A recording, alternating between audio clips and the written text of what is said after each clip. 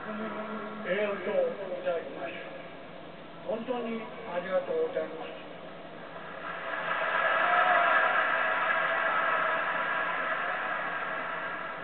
松井君も一緒に馬立って一緒に大阪へ回ります。こうありがとう御礼を申し上げます。ありがとうございます。ファンの皆様本当にありがとうございます。よろしくお願いします中心監督からの今受賞にあたってのご挨拶でした続いて松井秀喜さんお願いします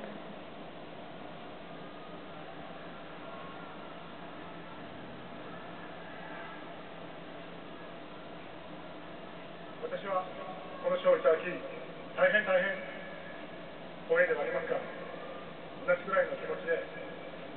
恐縮しております。私は王さんのようにホームランで、衣笠さんのように連続試合出場で、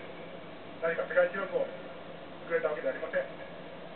長嶋監督の現役時代のように、日本中のファンの方々を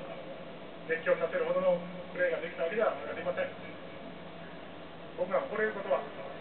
日米の素晴らしいチームでプレーし素晴らしい指導者の方々チームメイト。そして素晴らしいファンに恵まれたことです。今後偉大なお三方の背中を追いかけ日本の野球のそして野球を愛する国民の皆さんの力に少しでもなれるように努力していきたいと思います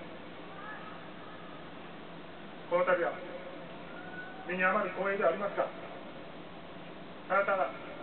私を支えてくださったファンの方々そして私が野球野球で関わった